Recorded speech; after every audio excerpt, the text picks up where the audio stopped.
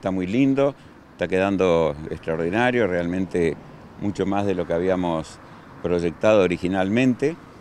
Ya en este momento podemos decir que el CODE es tres veces el tamaño de antes y cuando esté terminado hace un poquito más. Eh, así que estamos muy contentos y calculamos que para octubre o noviembre más o menos estaríamos inaugurando esta obra que está eh, íntegramente a cargo del gobierno de la provincia de Santa Fe.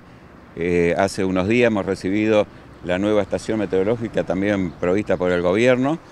Ya hemos visto con Pablo Lucero, no sé si lo conocen ustedes, que es un meteorologista conocido, forma parte de nuestro CODE, eh, donde vamos a instalar la nueva estación con el centro de monitoreo que vamos a tener del clima ahí en la costanera. ¿Y qué características tiene justamente el lugar? ¿Qué va a poder disfrutar el público de aquí de Santa Fe y también de la región y por qué no del país? Bueno, lo fundamental es eh, primero la integración de terrazas, que antes estaban a distintos niveles, ahora están todas niveladas. Se ganó espacio de terraza. Tenemos el planetario, que es por supuesto eh, digamos, la, grajea ¿no? del, postre, este, realmente espectacular, un planetario de última generación, digital, ya está casi todo, digamos, toda la parte interior ya está prácticamente toda terminada.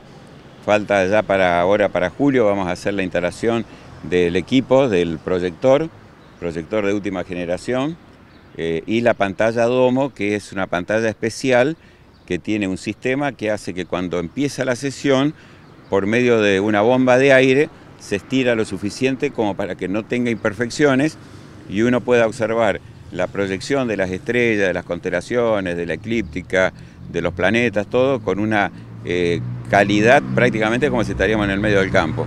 Así que eso ya está bastante avanzado. Faltan detalles, por ejemplo, la ampliación del salón de exposiciones que ustedes conocieron hacia el norte. Esa parte ya se hicieron los cimientos, están las columnas. Eh, ya en estos días ya se va a empezar a cerrar. Eh, se amplía un 50% más de lo que teníamos antes.